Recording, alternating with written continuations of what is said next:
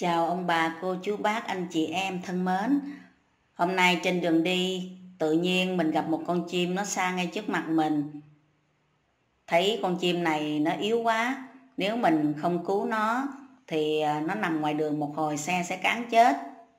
Vì vậy mình cũng à, bắt con chim này mình đem vào nhà của mình. Nhưng mà mình chợt nghĩ người ta nói có câu là chim xa cá nhảy là điềm báo không có tốt cho gia đạo của mình mình cũng sợ lắm. Nhưng ờ, dù sao đi nữa thì mình cũng đã cứu con chim này. Để tìm hiểu về câu nói chim sa cá nhảy như thế nào thì mọi người cùng mình tìm hiểu nhé. Chim sa cá nhảy là hiện tượng thiên nhiên bất thường. Nhiều người có giác quan thứ sáu thường cho rằng đây là một điềm báo xấu có thể xảy ra trong tương lai gần. Ngay cả những hiện tượng hết sức bình thường trong cuộc sống như chó sủa không đều, gương vỡ cơm thì trên sóng dưới khê, khiến nhiều người cũng liên tưởng đến những điều báo ứng không tốt. Thậm chí còn có những lý giải về hiện tượng chim sa cá nhảy theo chiều hướng mê tín dị đoan, rằng chim của trời mà bị đầy xa xuống đất sẽ là một điểm không tốt. Ý chỉ một điều gì đó không hay sẽ diễn ra. Còn cá thì chỉ có thể sống ở dưới nước mà đột nhiên nhảy lên bờ tức là nơi đang ở gặp nguy hiểm. Vậy thực tế chim sa cá nhảy là gì? Những điểm báo cần lưu ý đằng sau hiện tượng này ra sao? Mời bạn cùng tôi tìm hiểu về vấn đề này nhé. Trong cuộc sống hiện đại, nhiều người bài xích mê tín dị đoan. Tuy nhiên, có nhiều chuyện trong tự nhiên khiến nhà khoa học cũng không thể giải thích nổi. Điển hình như một hôm, tự nhiên có một con quạ bay vào nhà, rồi lăn ra chết sẽ mang đến điềm báo của sự tang thương và tình buồn. Vì vậy có nhiều trường hợp không tin vào tâm linh cũng không được.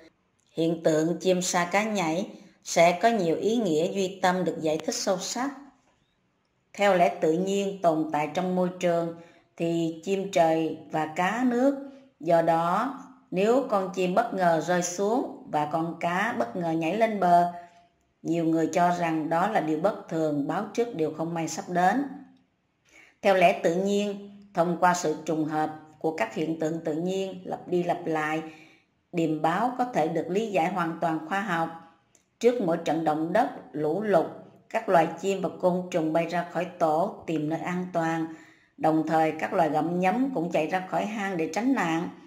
Đây là những động vật sống trong môi trường ổn định. Khi môi trường xáo trộn, từ trường thay đổi liên tục sẽ khiến động vật rời khỏi nơi trú ẩn. Ví dụ loài cú và chim lợn là động vật đại diện cho sự chết chóc. Đây là loại động vật sống về đêm, có âm khí nặng. Đồng thời trước khi chết, con người thường có điện trường đặc biệt để có thể thu hút các loài động vật đó.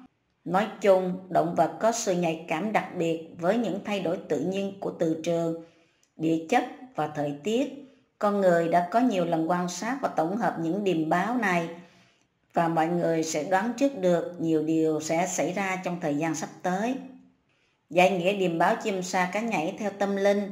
Nhiều người quá lo lắng về tình trạng chim bỗng nhiên sa xuống nhà hoặc xà vào chân bạn hay đang đi gần ao hồ biển có một chú cá nhảy vọt lên bờ là điều bất thường.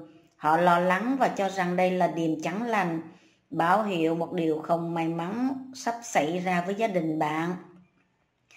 Do đó, nếu gặp phải hiện tượng này, bạn cũng đừng mất cảnh giác, đi đứng cẩn thận, đặc biệt cần cẩn trọng về công việc và gia đình.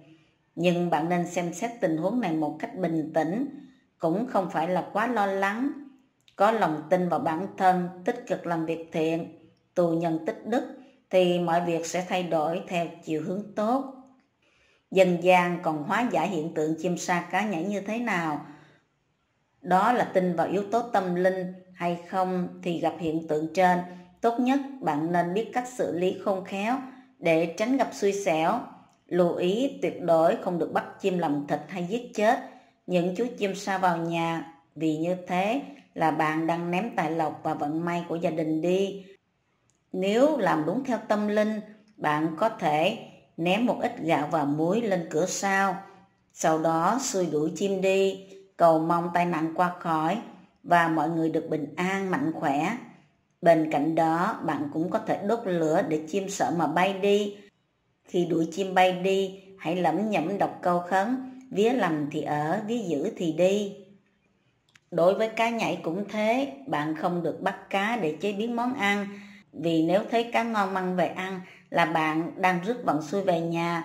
Theo quan niệm dân gian thì bạn hãy bắt cá đem phóng sinh xuống nước. Việc phóng sinh này cũng là bạn đang tiến hành việc tích đức cho bản thân và gia đình. Quý vị và các bạn thân mến, quý vị vừa nghe hiện tượng chim sa cá nhảy và cách mà dân gian thường hóa giải hiện tượng chim sa cá nhảy này. Đây cũng chỉ là một sự tham khảo, chưa phải là phổ biến. Cảm ơn quý vị đã quan tâm theo dõi.